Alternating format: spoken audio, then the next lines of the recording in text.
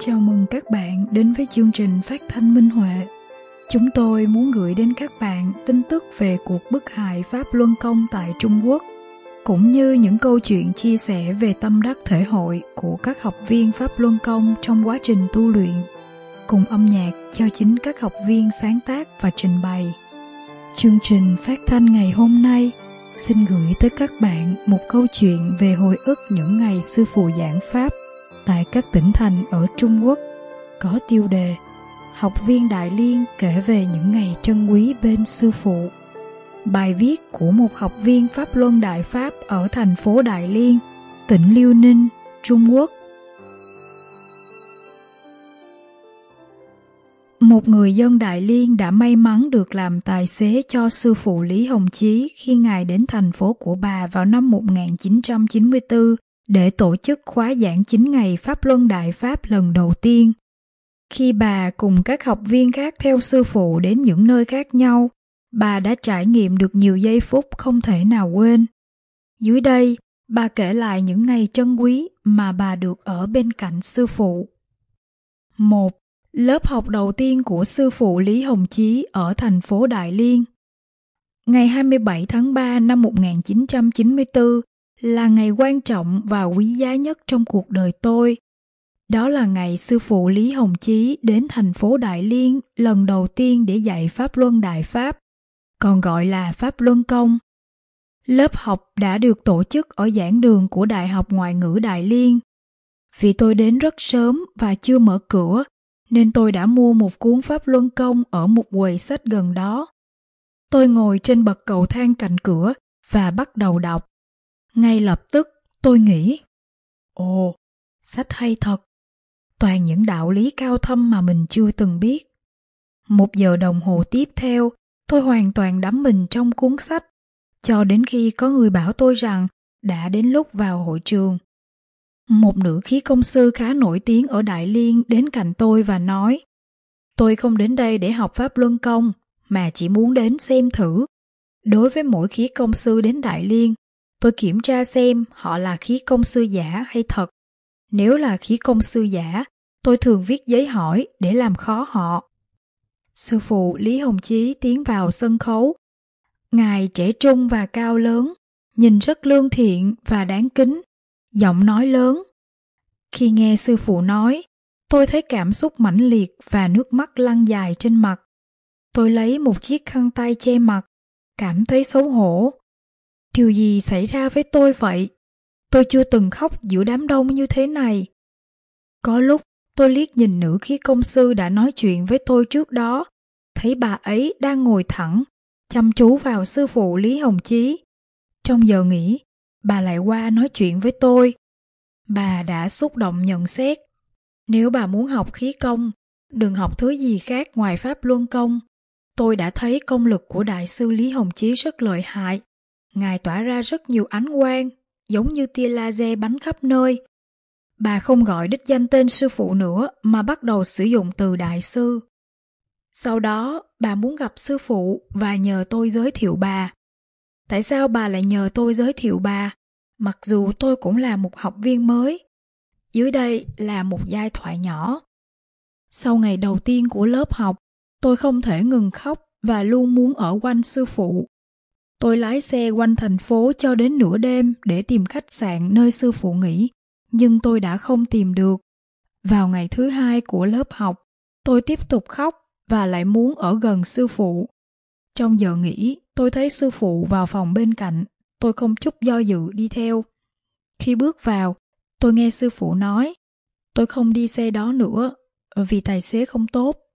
Tôi buộc miệng nói, sư phụ, xin hãy đi xe của con. Sư phụ nhìn tôi và nói, xe của cô được, vậy thì đi xe của cô. Giáo sư Lý từ Hiệp hội khí công có vẻ không vui vì tôi đã cắt ngang cuộc hội thoại. Nhưng vì chúng tôi biết nhau nên ông đã không chỉ trích tôi. Tất cả các tài xế ở Đại Liên đều muốn lái xe cho một vị đại khí công sư. Tôi đã chuẩn bị bốn chiếc xe. Thế mà... Ông dừng lại, nhìn tôi và tiếp tục. Vậy thì chúng ta sẽ đi xe của cô. Nhờ vậy, tôi đã có một cơ hội trời ban được ở gần sư phụ. Một ngày, một vài người tổ chức lớp học và tôi theo sư phụ tới công viên Tinh Hải. Vị nữ khí công sư đi một chiếc taxi theo chúng tôi đến công viên. Trong công viên, bà liên tục khoe khoang về một số trải nghiệm trước đây của bà. Sư phụ nói với chúng tôi rằng, những người này không thể buông bỏ những thứ của họ, vậy nên họ khó có thể được cứu. Ngồi trên một tảng đá bên bờ biển, sư phụ nhặt một cành cây nhỏ và viết trên đất công năng bản tiểu thuật, đại pháp thị căn bản, trích cầu chính pháp môn, hồng ngâm, tạm dịch, cầu chính pháp môn, công năng là thuật nhỏ, đại pháp là căn bản. Sau đó sư phụ nói với chúng tôi về pháp. Hôm đó tôi nhận thấy mặt biển nhìn rất lạ, sóng đánh vào khu vực gần chúng tôi, nhưng bề mặt biển ở phía xa rất lặng. Sư phụ nói với chúng tôi rằng Hôm nay tôi không chỉ giảng pháp cho chư vị, nhiều chúng sinh trên thiên thượng và dưới biển ở đây cũng được nghe. Lúc đó tôi chỉ mới tham gia vài bài giảng của sư phụ, vì vậy tôi không hoàn toàn hiểu ngài nói gì. Nhưng vì tôi tin mỗi lời sư phụ nói đều là thật, nên tôi đã lắng nghe. Một thời gian sau, vị nữ khí công sư mời tôi đến nhà bà và cho tôi xem một bức tranh. Bức tranh có hình một kim long bay từ dưới biển lên và một vị long nữ đang nắm râu của một con rồng. Bà nói với tôi rằng, đây chính xác là những gì tôi đã chứng kiến ở bờ biển vào hôm đó. Tôi đã mời một họa sĩ nổi tiếng ở Đại Liên đến nhà. Tôi miêu tả lại khung cảnh và ông ta đã vẽ lại. Tôi thấy con rồng vọt lên khỏi mặt nước, nhưng tôi vẫn tự hỏi liệu con rồng đó do tôi đưa đến hay là sư phụ Lý Hồng Chí đã đưa chúng đến. Tôi lập tức đáp, Sao bà có thể nghĩ rằng con rồng đó đến vì bà được? Sư phụ đã nói rằng chúng sinh trên thiên thượng và biển đang ở đó lắng nghe sư phụ giảng. Dù bà có nói gì, thì bức tranh đó quả thực đã mô tả khung cảnh trên bờ biển vào hôm đó. Vào ngày thứ tư của lớp học, sư phụ đã đến nhà tôi. Hàng chục học viên khác theo sau. Chúng tôi cùng nhau xem video các bài công pháp của sư phụ. Trong video, sư phụ mặc một bộ đồ màu vàng và ngồi trên cỏ, Sư phụ hỏi, nhìn xem, tôi đang ở đâu? Một số học viên nhìn thấy được chân tướng nói lớn. Trên đài sen! Mọi người đều nhìn thấy đài sen, trừ tôi. Trong tâm tôi đổ lỗi cho thị lực của mình kém. Sư phụ hỏi tôi, con có thể nhìn được không? Thấy tôi không nhìn được, Ngài tiếp tục nói, ta sẽ khiến đài sen di chuyển để con có thể nhìn được. Lúc đó thì tôi đã thấy Sư phụ ngồi trên đài sen nhiều tầng, cánh hoa nhẹ nhàng di chuyển, đó thực sự như một phép màu. Sư phụ lấy một quả cà chua từ cái đĩa gần đó. Ngài lấy hai tay bọc lấy và nói, ai đó có thể ăn. Tôi nhanh đáp, không, đừng ăn, xin sư phụ để nó ở đây để chúng con có thể nhìn nó. Tôi đặt quả cà chua lên trên nóc tivi. Để so sánh, tôi đặt một quả cà chua khác bên cạnh. Có người thốt lên, Nhìn kia, quả cà chua đang tỏa sáng, có một vị tiểu Phật ở bên trong. Tôi thấy một tia sáng màu xanh ngọc phát ra từ chóp quả cà chua lên tới trần nhà. Quả thực có một vị tiểu Phật đang ngồi bên trong tia sáng. Không chỉ quả cà chua tỏa sáng, mà tivi và tường cũng phát ra những tia sáng màu xanh ngọc. Chúng tôi đều kinh ngạc. Tối hôm đó, tôi vẫn có thể thấy tivi và toàn bộ bức tường đang tỏa ánh sáng màu xanh ngọc. Quả cà chua tiếp tục chiếu sáng, tỏa ra ánh sáng mạnh mẽ. Sau đó khi quả cà chua bên cạnh bị nhũng, tôi thay thế nó bằng một quả cà chua tươi. Vào ngày thứ 17, sau khi đổi quả cà chua kia 4 lần, quả cà chua mà sư phụ chạm vào vẫn hoàn toàn tươi ngon. Tôi sợ rằng một ngày quả cà chua đó sẽ hỏng, vậy nên tôi đã để con tôi ăn nó. Rõ ràng là ngộ tính của tôi rất thấp. Vào ngày hôm đó, sư phụ giảng cho chúng tôi rằng vũ trụ đã bị lệch khỏi đặc tính chân thiện nhẫn và phải đối mặt với nguy hiểm. Ngài cũng nói rằng trái đất cũng sẽ phải đối mặt với những hậu quả nghiêm trọng và Đại Liên có còn tồn tại được hay không vẫn chưa thể xác định được. Tất cả chúng tôi đều xin sư phụ bảo vệ Đại Liên. Sư phụ đáp, nếu chúng ta giữ Đại Liên, vấn đề nước của nó phải được giải quyết đầu tiên. Lúc đó có một đợt hạn hán nghiêm trọng ở Đại Liên diễn ra trong nhiều năm. Việc cung cấp nước thường bị cắt Tuy nhiên, kể từ ngày sư phụ nói vấn đề về nước phải được giải quyết, 20 năm đã qua và Đại Liên không còn rơi vào tình trạng thiếu nước nữa. Vào ngày thứ sáu của khóa học, giáo sư Lý đã mời sư phụ đi thăm thành phố. Ông mang theo hai máy ảnh cùng với bốn cuộn phim. Một nhóm người đi cùng. Dọc chuyến đi, tôi thấy sư phụ không muốn chụp ảnh với những người kia, bao gồm một số khí công sư. Tôi nghĩ rằng vì sư phụ không muốn chụp ảnh với họ nên ảnh sẽ không ra được. Cuối cùng, sư phụ gọi bốn học viên chúng tôi đến và chụp hai bức ảnh cùng chúng tôi. Sau khi phim chụp được rửa, giáo sư Lý cho tôi xem một cuộn phim chưa sử dụng. Ông nói với tôi rằng, thật rất lạ, khi tôi đi rửa phim, tôi thấy một máy ảnh bị thiếu phim chụp. Tôi cho rằng có lẽ người thân của ông đã lấy phim ra. Ông đáp, không thể nào, vì máy ảnh luôn ở bên tôi. Tôi đã rửa những cuộn phim khác, nhưng xem này, chúng đều bị hỏng. Chỉ có hai tấm này là không sao. Hai bức ảnh này là hai bức mà sư phụ chụp cùng bốn học viên chúng tôi. Giáo sư Lý xúc động nói, giờ thì tôi hiểu rồi, sư phụ Lý Hồng Chí thực sự là một vị Phật. Sau khi tôi mang hai tấm ảnh về nhà, tôi cẩn thận xem bức ảnh thì thấy trong một bức có hai con rồng, bức còn lại có một thanh bảo kiếm ở phía trên đỉnh. Tôi đề cập việc này với sư phụ khi đưa các bức ảnh cho ngài. Tôi hỏi ngài xem có đúng là tôi đã thấy những con rồng và thanh bảo kiếm không? Sư phụ đáp, chẳng phải ở Đại Liên có hai vùng biển sao? Hai Long Vương đang hộ pháp khi ta đến thành phố. Thanh bảo kiếm đó là kiếm vũ trụ của ta, uy lực vô cùng. Một vài năm sau, trong một giấc mơ, sư phụ cho tôi mượn thanh bảo kiếm để chiến đấu với tà ác. Thanh kiếm quả thực uy lực vô cùng. Khi tôi múa thanh kiếm một vài lần, hàng vạn tà ác lập tức giải thể vào hư không. Một ngày, bà Tôn, chồng bà và tôi đến thăm sư phụ. Bà Tôn nói với sư phụ rằng ba bị bệnh tim đã nhiều năm rồi. Bà thường xuyên phải nằm viện và đã bốn lần ở trong tình trạng nguy kịch. Trong những lần đặc biệt xấu, bà thậm chí không thể nằm và phải ngồi tựa vào gối để ngủ. Sư phụ đặt bàn tay trái của ngài xuống dưới bàn Ngài nâng bàn bằng tay trái trong khi xoay bàn tay phải. Sau đó sư phụ thu tay và đi ra ngoài. Tôi nói với bà Tôn rằng sư phụ đã tịnh hóa thân thể cho bà.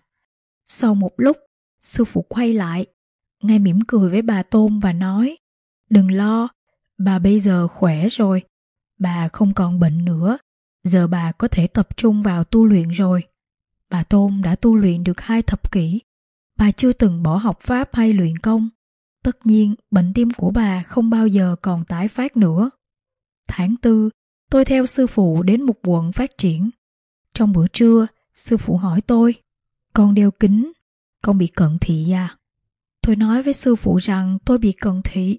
Sư phụ chỉ vào bức tranh trên tường và hỏi tôi, con hãy nhìn vào bức tranh kia, con có nhìn nó được rõ không? Tôi nói rằng tôi không thể, sau đó sư phụ xoa bóp lưng tôi từ trên xuống dưới ba lần và hỏi Bây giờ thì thế nào? Tôi nói Con thấy tốt hơn trước rồi nhưng vẫn không thể nhìn được rõ. Sau đó sư phụ nói với tôi rằng tôi không cần đeo kính nữa. Tôi nói với ngài rằng không đeo kính tôi thấy không thoải mái vì tôi đã quen sử dụng kính rồi. Thêm nữa, mọi người xung quanh tôi sẽ nghĩ rằng tôi có vẻ lạ nếu đột nhiên không đeo kính. Sư phụ bảo tôi hãy đeo kính không độ.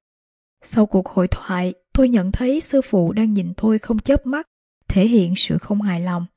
Tôi đột nhiên hiểu ra rằng, sư phụ đã nói với tôi điều gì đó, nhưng tôi đang từ chối tiếp nhận. Ngộ tính của tôi quá thấp. Tôi lập tức thay đổi cách nghĩ và nói với sư phụ rằng, giờ con có thể nhìn được bức tranh rồi. Sau đó, trong một chuyến đi đến Nhật Bản, tôi mua một cặp kính không độ đẹp Tuy nhiên thị lực của tôi không tốt dù có kính hay không. Điều này kéo dài một năm cho đến một ngày khi tôi vô tình ngồi trên kính và chúng bị gãy làm đôi. Tôi hiểu rằng sư phụ đang điểm hóa cho mình rằng tôi không nên đeo kính nữa.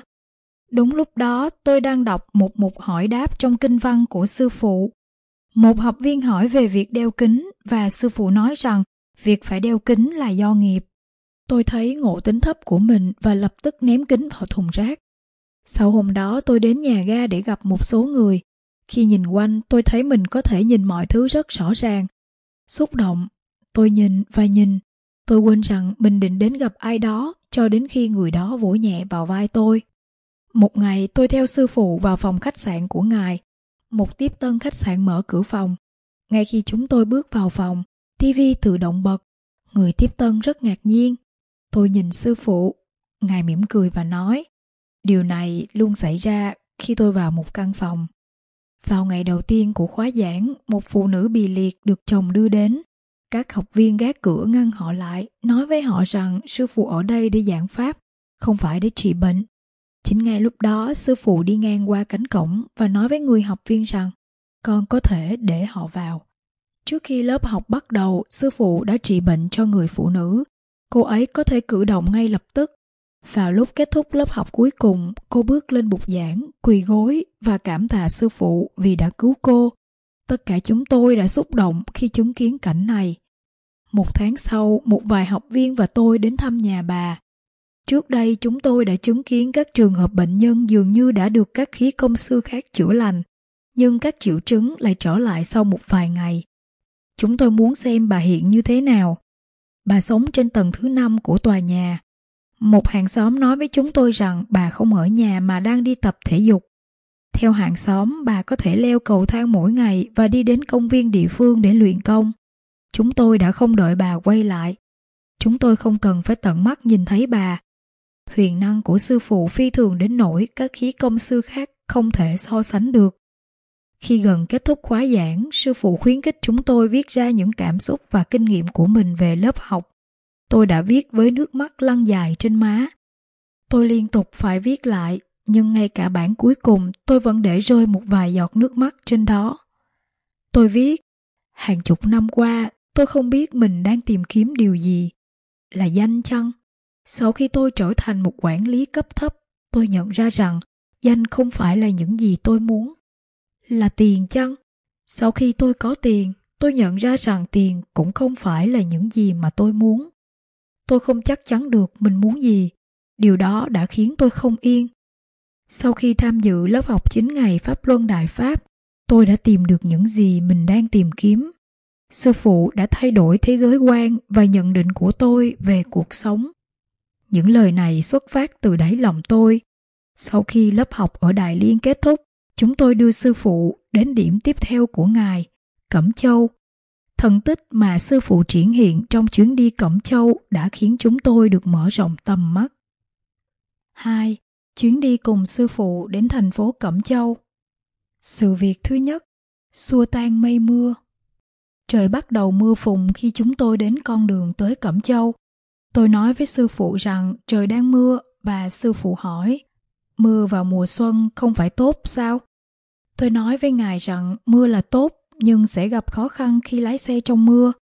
Sư phụ mỉm cười và nói, tháng tư là mùa mưa, vậy thì hãy để trời tiếp tục mưa phía sau chúng ta vậy. Sau khi nói chuyện với sư phụ, tôi thấy mây nặng hơn và dường như trời đất được bao phủ bởi một tấm chăn dày màu đen. Lúc đó sư phụ bắt đầu chuyển hai tay và tôi biết rằng ngài đang xoay pháp luân. Không lâu sau, tấm chăn đen bị xé nhỏ, những đám mây đen lớn bắt đầu tản ra, sau đó trong nháy mắt mưa ngừng rơi. Tôi có thể thấy được bầu trời xanh phía trước, mặc dù những đám mây phía sau chúng tôi tối tăm mờ mịt. Thật kinh ngạc. Người tài xế có thể nhìn được không gian khác nên đã hỏi sư phụ những vị thần mà thỉnh thoảng xuất hiện hai bên đường là ai. Sư phụ nói với chúng tôi rằng họ là thổ địa từ các khu vực khác nhau Họ có nhiều vì là chúng thần ở tầng thấp nhất. Một ngọn núi lớn thường có một đại thổ địa, trong khi một ngọn núi nhỏ có một tiểu thổ địa. Mỗi vị chịu trách nhiệm về khu vực của mình. Hôm đó họ xuất hiện để chào đón sư phụ.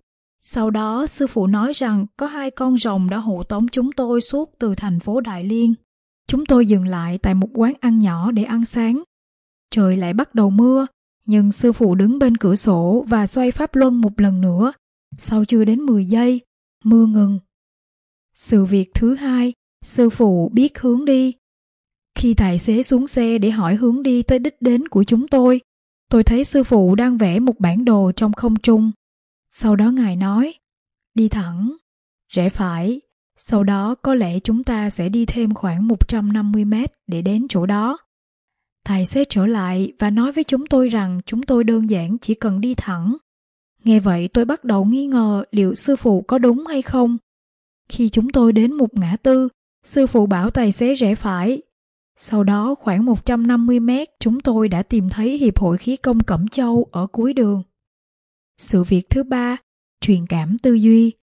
Tôi hỏi sư phụ xem liệu tôi có nên gọi cho một học viên lớn tuổi đã ở đó trước chúng tôi để bảo bà rằng chúng tôi đã đến. Nhưng sư phụ không đáp. Sau đó tôi thấy học viên đó đang chạy tới xe của chúng tôi.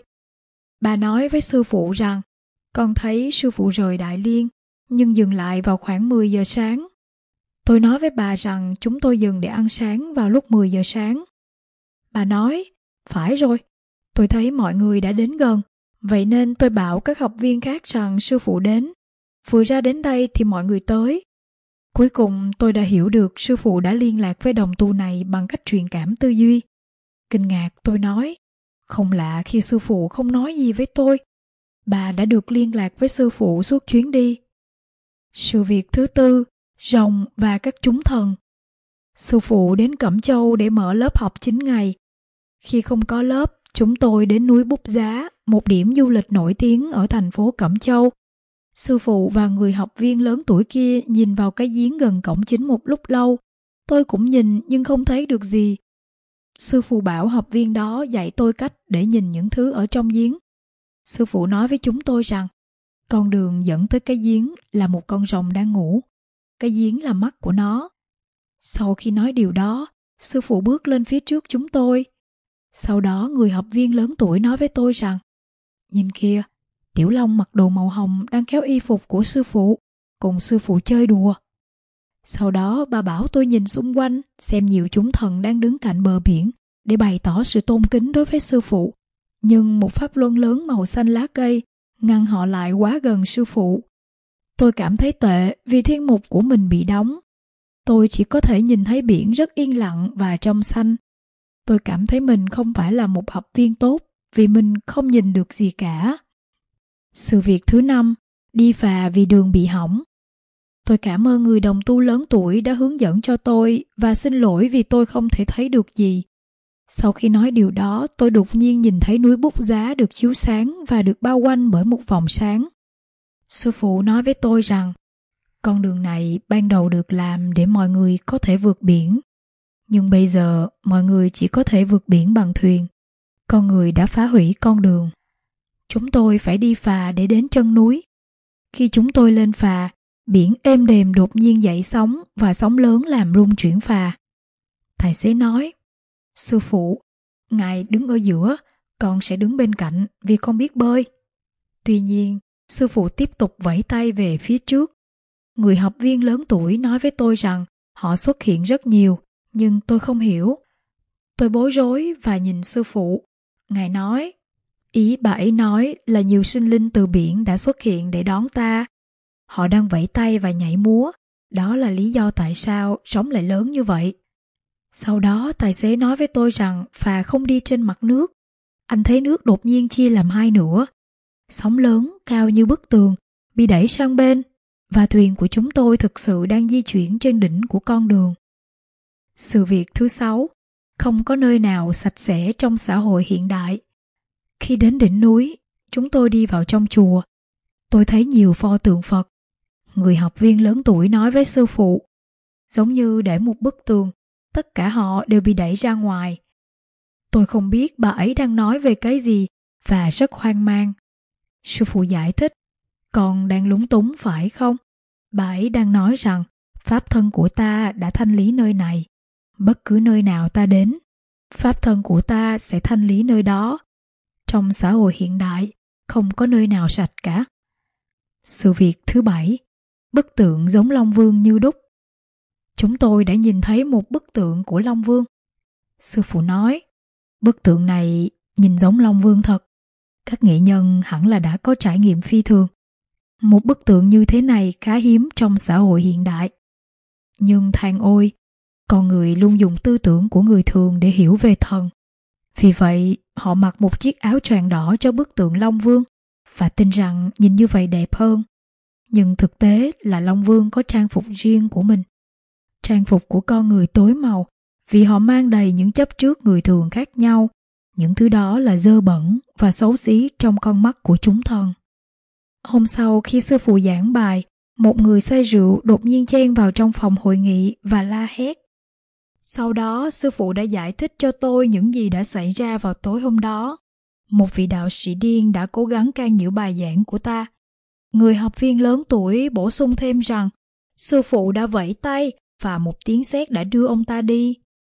Hai ngày trước khi chúng tôi trở lại Đại Liên, tôi cảm thấy buồn khi biết rằng mình sẽ sớm phải xa sư phụ. Sư phụ bảo tôi hãy học pháp thật tốt và tu luyện tinh tấn để đạt viên mãn. 3. Tham dự khóa giảng ở Thành Đô, tỉnh Tứ Xuyên. Sau khi khóa giảng ở Đại Liên kết thúc, sư phụ thấy chúng tôi không muốn xa ngài nên đã bảo chúng tôi rằng tháng 6 có một khóa giảng ở Thành Đô. Chư vị hãy cùng tôi đến núi Nga Mi. Tôi cùng một vài học viên đã bay tới Thành Đô.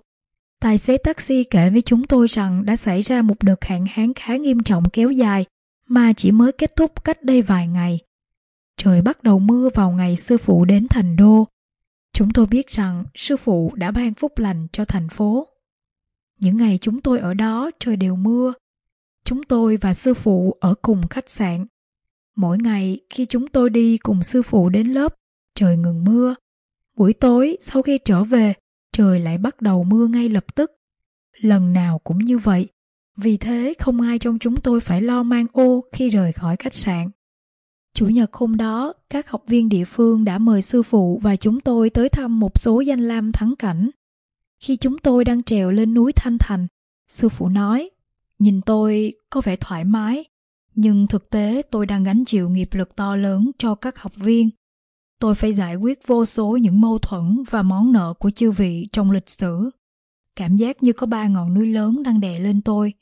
Thật khó để tôi cất từng bước nhưng nếu tôi không gánh chịu nghiệp lực cho các học viên, không ai trong các vị có thể tu luyện tôi đã khóc sau khi biết những gì sư phụ phải chịu đựng vì chúng tôi tôi tự nhủ mình sẽ làm bất cứ điều gì để giảm bớt gánh nặng cho sư phụ.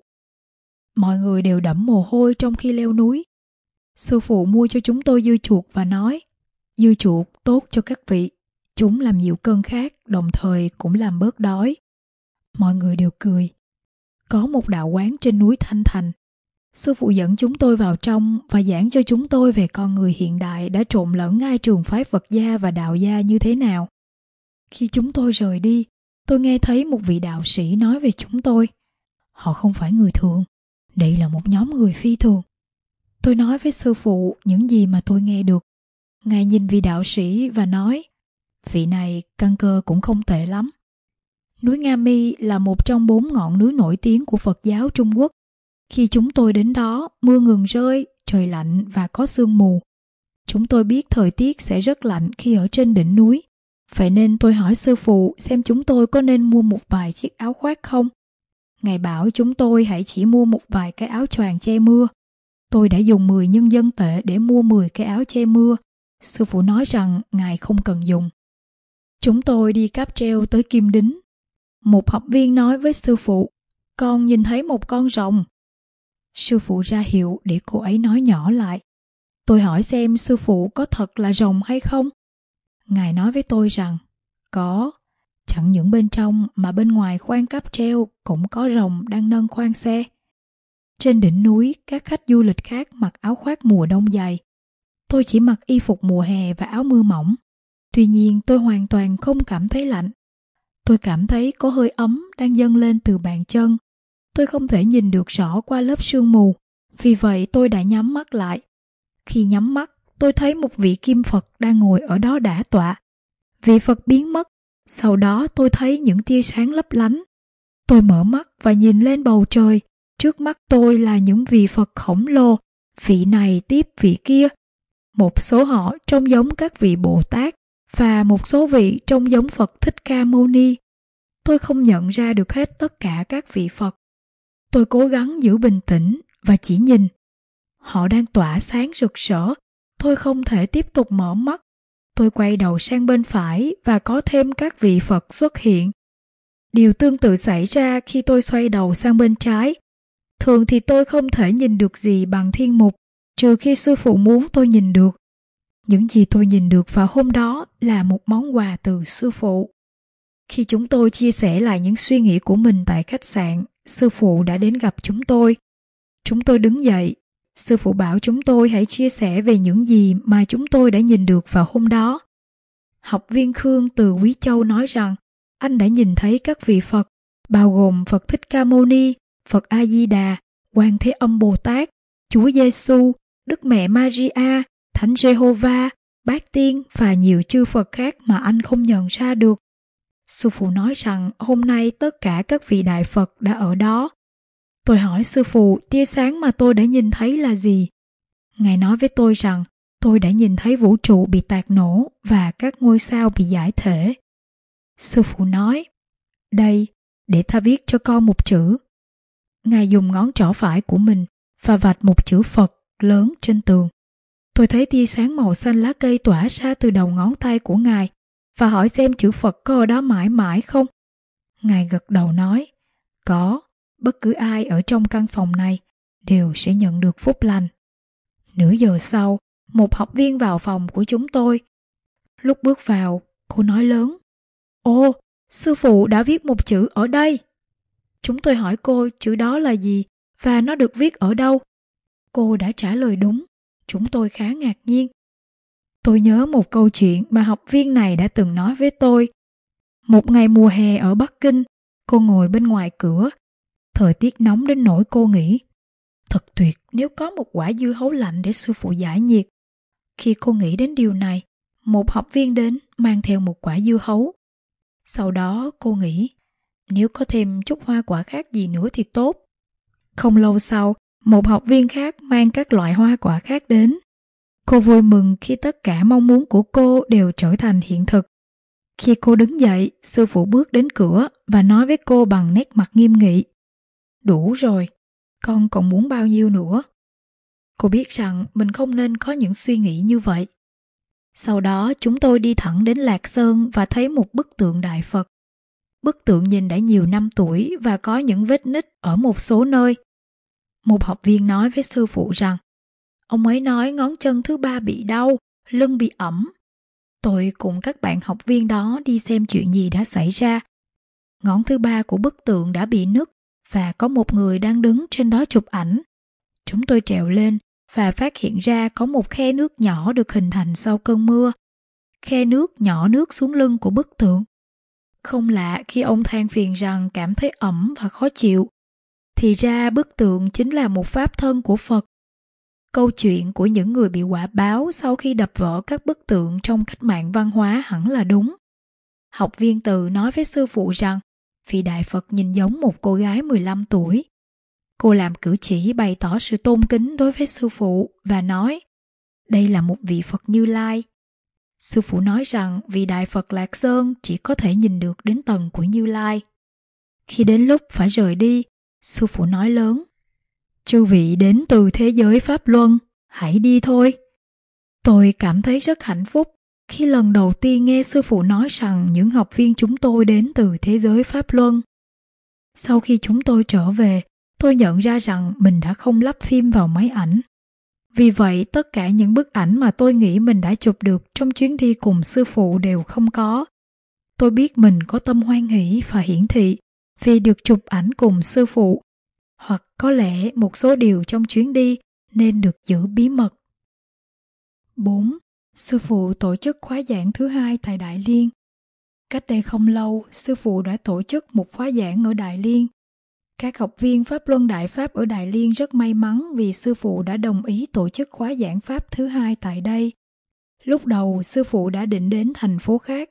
Tuy nhiên do vấn đề tổ chức nên khóa giảng đã bị hủy bỏ Tôi chỉ tình cờ ở gần sư phụ khi ngài đang chuẩn bị kế hoạch mới, nên tôi đã xin sư phụ đến Đại Liên một lần nữa.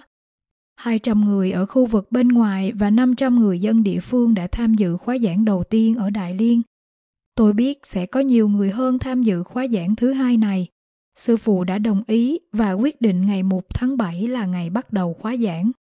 Tâm của sư phụ đặt hết vào cứu độ chúng sinh. Sự việc thứ nhất Sư phụ bàn về giá vé. tôi nghe được cuộc trò chuyện giữa sư phụ và một nhân viên, cũng là một học viên, về giá vé để tham dự khóa giảng.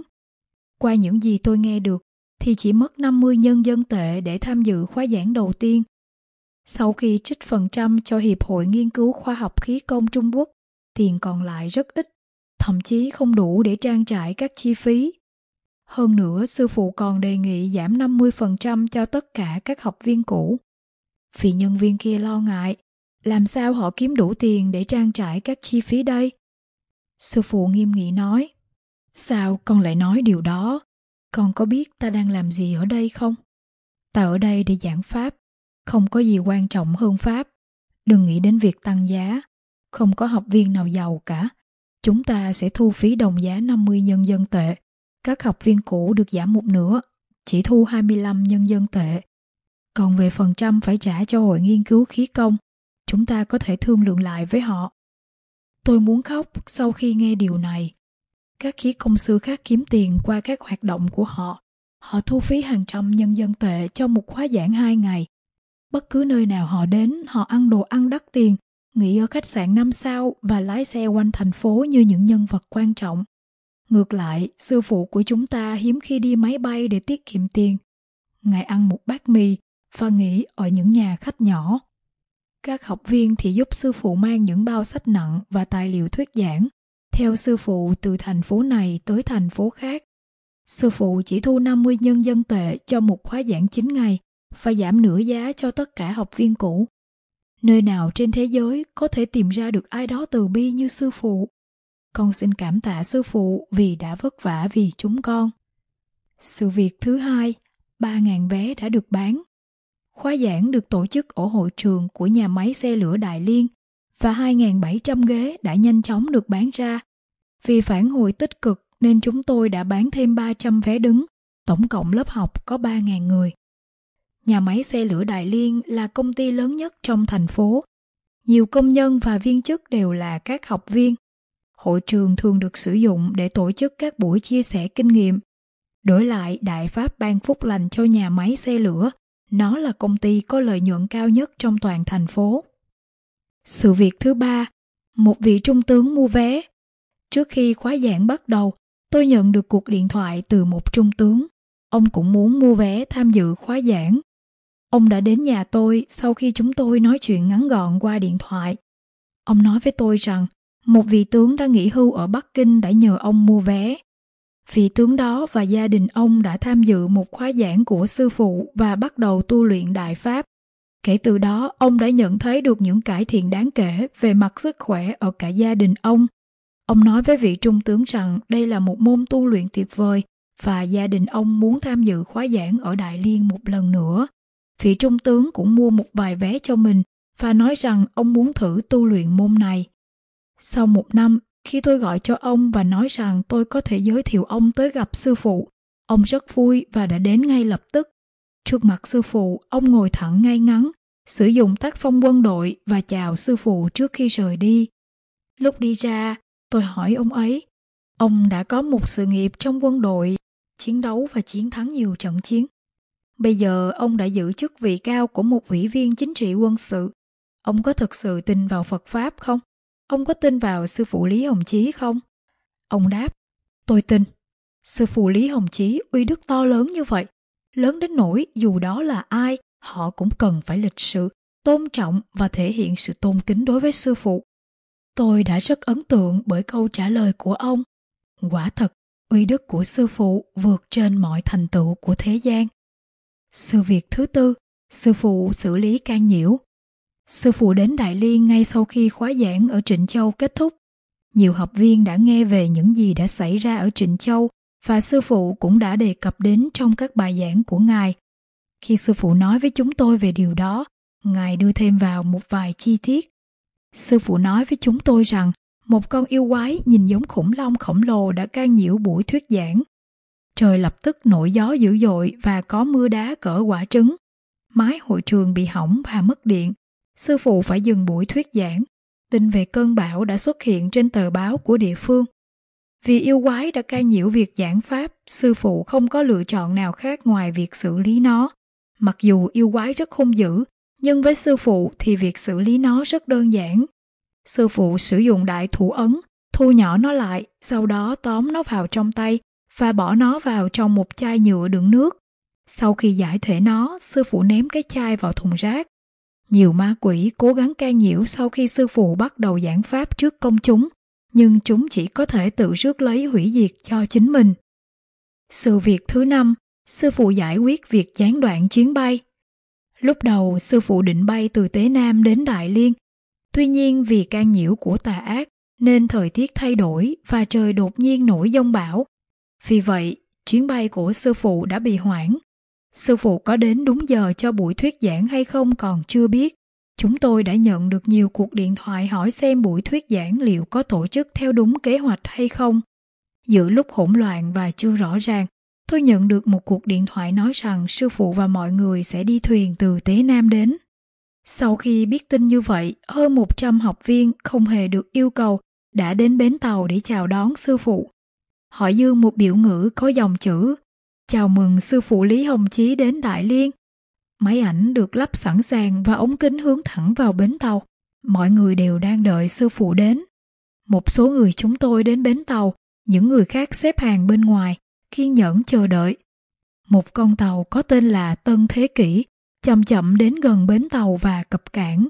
Đó có phải một sự trùng hợp không? Sư phụ thực sự đang mở ra một kỷ nguyên mới. Sư phụ đứng gần lối xuống tàu, thấy có nhiều người đang đợi và chào đón sư phụ. Các hành khách tránh đường và sư phụ tiến về phía trước. Nhiều người tò mò, tất cả những người này ở đây để đón ai vậy? Các học viên rất vui mừng và vỗ tay nhiệt liệt. Sư phụ cũng mỉm cười và vẫy tay về phía mọi người. Chúng tôi đi bộ cùng sư phụ và gặp các học viên đang đợi bên ngoài bến tàu. Sư phụ hỏi tôi, con có sắp xếp chuyện này không? Con không, con không có sắp xếp gì cả. Các học viên nghe tin và họ tự đến. Tôi cười tươi trả lời. Sư phụ nghiêm cấm bất cứ ai trả tiền để thuê khách sạn sang trọng cho ngài. Chúng tôi đặt phòng ở khách sạn Vũ Hán, một khách sạn hạng kinh doanh nhỏ. Trước khi khóa thuyết giảng bắt đầu, một học viên đưa cho tôi các phù hiệu để đưa cho các học viên. Cô nói với tôi rằng sư phụ đã làm 200 cái và đưa cho tôi một vài cái. Tôi lấy một chiếc và đưa những chiếc còn lại cho những học viên khác. Tôi đã giữ huy hiệu quý giá này làm đồ lưu niệm. Nó có một con dấu của sư phụ trên đó. Một học viên từ Bắc Kinh đã gọi điện thoại cho sư phụ và nói với ngài về một số người từ Pháp đến để gặp ngài. Sư phụ nói, ta biết họ đến vì bệnh của con họ, con có thể bảo họ tìm người khác. Sau đó một cuộc gọi nữa đến báo rằng họ đang trên đường đến đây và nhất định phải gặp sư phụ. Sư phụ nói, vì họ đang đến nên ta sẽ gặp họ nếu họ có duyên. Tôi đã đón nhóm người, gồm hai người Pháp, hai người Trung Quốc, và họ đến phòng của sư phụ ở khách sạn. Căn phòng rất giản dị và tất cả họ đều phải ngồi trên giường. Sư phụ hỏi, để ta xem vấn đề là gì. Người phiên dịch bắt đầu giới thiệu họ. Hai quý ông người Pháp là hai cha con và họ sở hữu một công ty lớn. Người cha đi thẳng vào vấn đề. Ông nói, chúng tôi là người Do Thái. Chúng tôi biết con người ngày nay đang bại hoại và phải đối mặt với sự tàn phá của thiên tai. Chúa của chúng tôi nói rằng chỉ duy nhất một người Trung Quốc mới có thể cứu nhân loại, cứu người Pháp và cứu người Do Thái. Chúng tôi đã tìm kiếm rất lâu và biết được người đó chính là Ngài, Sư phụ Lý Hồng Chí. Vì vậy, chúng tôi đến để gặp Ngài. Ông nói, Chúa của chúng tôi thỉnh mời Ngài đến Pháp để cứu châu Âu. Chúng tôi sẽ sắp xếp mọi thứ và trang trải tất cả những chi phí giúp Ngài. Giọng vang này và cách biểu đạt của ông khiến chúng tôi xúc động. Sư phụ Từ Bi nói, ông có biết mình đang làm gì không? Đó là hành động sẽ mang lại uy đức vô biên. Còn chuyện gì khác không? Người đàn ông trẻ nói rằng con trai anh 7 tuổi và bị tâm thần. Cậu bé không thể nói hay thoải mái cử động và bị chảy nước giải. Người đàn ông trẻ đó đã đi mọi nơi để tìm cách chữa trị cho con trai mình, nhưng vô vọng. Anh đã xin sư phụ chữa cho con trai anh. Sư phụ nói, hãy để ta xem ảnh của cậu bé. Chúng tôi không mang bức ảnh nào, nhưng chúng tôi có một cuộn băng video. Tôi đến quầy lễ tân để mượn một đầu máy chiếu video, nhưng khách sạn đó không phải là một khách sạn cao cấp nên họ không có cái nào cả. Sư phụ nói, được rồi, anh chỉ cần hình dung về con trai anh trong tâm là được rồi. Sau một lúc, sư phụ nói, bây giờ hãy hình dung rõ hơn về cậu bé. Sư phụ bắt đầu vẽ một hình người trên giường và nhìn chăm chú vào đó một lúc. Sau đó ngài đưa một tay kéo qua lại hình đầu người, như thể đang rút bệnh ra khỏi cái đầu. Sau một vài động tác, ngài nắm chặt hai tay lại với nhau. Sau đó ngài nhấc nắp tách trà lên và đặt thứ ở trong tay vào trong tách. Ngài đẩy nắp tách trà lại. Sư phụ vỗ nhẹ lên hình người trên giường ba lần, từ đầu đến chân. Sư phụ ngừng lại và nhìn hình người, sau đó nói, ta nghĩ cháu bé giờ đã ổn rồi. Bên kia vào lúc này, hẳn đã có phản ứng. Các vị có thể gọi điện để xác nhận. Tôi đến quầy lễ tân nhưng khách sạn không có dịch vụ điện thoại quốc tế. Người đàn ông người Pháp nói rằng họ sẽ gọi về nhà khi họ trở về khách sạn, vì ở Pháp hiện còn rất sớm, khoảng 4 giờ sáng. Trước khi họ rời đi, sư phụ nói, lại đây, ta sẽ cho các vị chút trải nghiệm về Pháp Luân. Hãy đưa tay của các vị ra. Ngài vẽ những vòng tròn trong không trung gần tay của họ. Sau 10 phút, sư phụ hỏi, các vị cảm nhận được gì không? Người cha nói rằng dòng năng lượng đã qua tay đi vào cơ thể ông. Nó rất mạnh và ông cảm thấy ấm áp. Con của ông nói rằng toàn cơ thể anh rung lên. Năng lượng mạnh mẽ và tay của anh cảm thấy vô cùng mạnh mẽ. Anh không thể đặt tay xuống trong vòng 15 phút. Ba tiếng sau, người phiên dịch gọi cho tôi. Anh rất xúc động nói, họ đã gọi về nhà ở Pháp. Vợ của người đàn ông trẻ hỏi tại sao họ lại gọi muộn như vậy. Cô nói rằng khoảng 4 giờ sáng, cô đã bị một chấn động mạnh đánh thức. Căn phòng rất sáng. Cô nhận ra rằng chồng cô hẳn phải đang ở cạnh vị khí công sư Trung Quốc, và ông đang truyền năng lượng qua. Cô chạy vào phòng của con, và thấy con đang ngồi trên giường. Cháu hỏi mẹ một cách rành mạch và chính xác. Chuyện gì đã xảy ra với con vậy mẹ? Trước đó chuyện này chưa từng xảy ra. Cô ôm con trong tay và bắt đầu khóc. Cô đã chờ đợi cuộc điện thoại của họ. Khi gọi cho nhau, họ khóc ở hai đầu dây điện thoại. Hai người Trung Quốc chúng tôi cũng khóc cùng họ. Việc này rất xúc động. Sư phụ Lý Hồng Chí thật vĩ đại, thật vĩ đại. Tôi cũng khóc khi nghe xong cuộc gọi. Người phiên dịch nói rằng hai người Pháp muốn gặp sư phụ đêm nay và sau đó sẽ bay trở lại Pháp. Tối nay sẽ là buổi giảng Pháp đầu tiên được tổ chức tại giảng đường nhà máy xe lửa Đại Liên, có sức chứa 2.700 người. Đây là lần thứ hai sư phụ giảng Pháp ở Đại Liên. Có nhiều người muốn tham dự khóa giảng đến nỗi chúng tôi phải bán cả vé đứng. Vì vậy khán giả lên đến gần 3.000 người. Trước khi buổi thuyết giảng bắt đầu, tôi báo cho sư phụ biết về những gì diễn ra với đứa bé người Pháp. Tôi nói rằng muốn kể với mọi người trong lớp về điều đó vì sư phụ đã thực hiện việc đó ở khoảng cách hàng nghìn dặm. Một nhân viên ở cạnh sư phụ nói rằng tôi không nên nói về việc đó vì sư phụ không làm những việc tương tự như chữa bệnh. Tôi nói rằng đây không phải là chữa bệnh, mà về sư phụ đã sử dụng công năng từ khoảng cách xa hàng nghìn dặm. Tôi bước lên bục giảng và kể câu chuyện trước giảng đường trước khi lớp học bắt đầu. Tôi đã bỏ qua phần về Chúa của người Do Thái. Khán giả đáp lại bằng tràng vỗ tay lớn. Tôi nhìn sư phụ, biểu hiện của ngài thực sự điềm tĩnh. Tôi thực sự khâm phục sự vĩ đại của sư phụ. Sau buổi thuyết giảng, tôi sắp xếp một nhà hàng để những người Pháp ăn tối cùng sư phụ. Họ nói với sư phụ về cuộc điện thoại tới Pháp. Họ vẫn rất vui mừng và vô cùng biết ơn sư phụ. Trong bữa tối, họ đã hoàn tất lịch trình để sư phụ tới thăm Pháp. Tôi đã chụp một vài bức ảnh trong bữa tối. Khi rửa ảnh ra, tôi thấy có nhiều hình ảnh lờ mờ. Sư phụ nói với tôi rằng nhiều chư thần đã đến ăn tối, bao gồm cả chúa của người Do Thái. Con có biết ông ấy là ai không? Ông ấy là Nostradamus. Lời tiên tri của ông cách đây 400 năm, hóa ra 99% là sự thật. Mục đích ông đến thế gian này là để báo cho con người về những thảm họa. Con người tin lời tiên tri cuối cùng của ông về tận thế. Thảm họa này quả thực đã được an bài. Tuy nhiên, vì ta đã đến để truyền giảng đại pháp, nó sẽ không xảy ra theo an bài. Ta sẽ cải biến nó.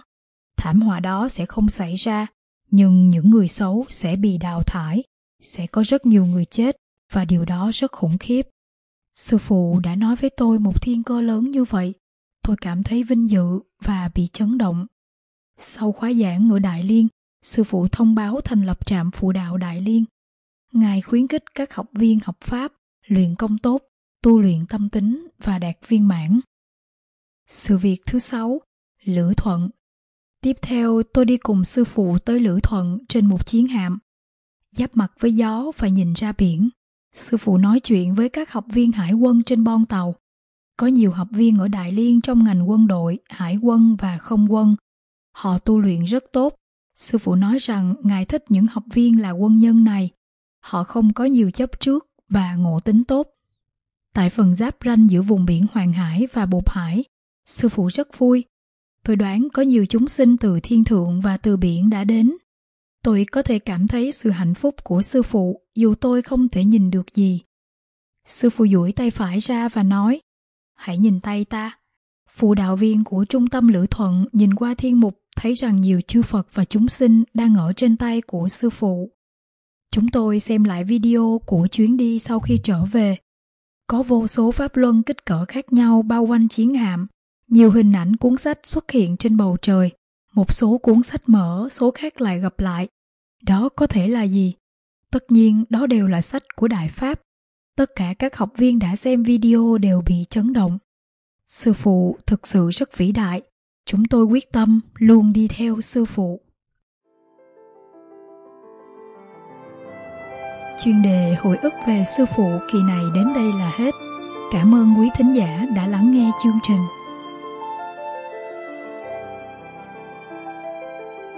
Cảm ơn các bạn đã lắng nghe chương trình phát thanh Minh Huệ.